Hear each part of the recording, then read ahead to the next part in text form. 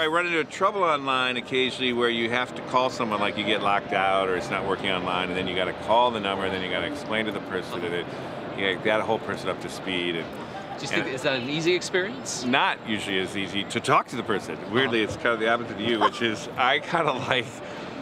I like to navigate it online. I like to see it there. I like to see the context. I like to be in control. It actually, I was surprised. It was like midnight or one in the morning, and I was just the spur moment thinking, I wonder what it would it cost with my mileage to get to, you know, surprise my family for a cruise in on the, you know, European some European river ride or something.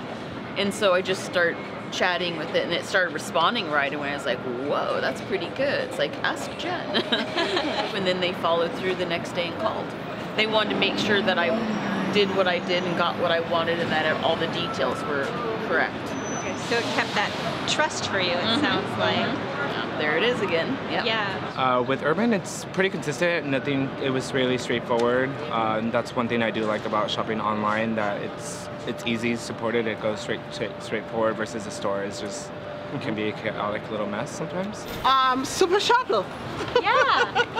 we used them today. It was fabulous experience and it was just the best experience. What made that experience good? Okay, one, it was timely. Getting to the information was easy. It was just easy to set it up.